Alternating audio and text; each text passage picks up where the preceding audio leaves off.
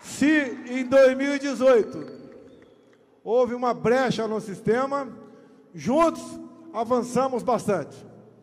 Ninguém entende o que aconteceu em outubro do ano passado.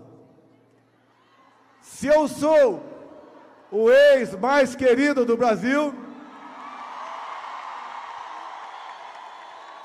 não sou ex por causa do povo, que a grande maioria do povo está conosco. Isso que aconteceu, dispensam palavras. Vocês bem sabem quem interferiu e quem decidiu nas eleições. Repito, quem decidiu não foi o povo. O povo não foi respeitado. Mas vamos considerar o ano passado uma página virada.